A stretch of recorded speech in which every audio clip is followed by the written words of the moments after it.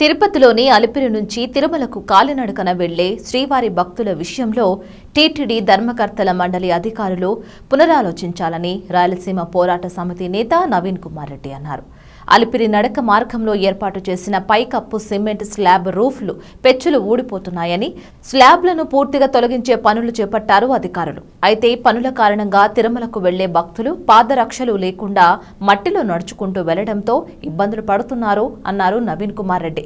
ఇరవై ఐదు కోట్లతో రియాతో పాటు స్విమ్స్లో వంద పడకల అదనపు క్యాజువాలిటీ భవన నిర్మాణానికి ఖర్చు చేస్తే బాగుంటుందని ఆయన పేర్కొన్నారు.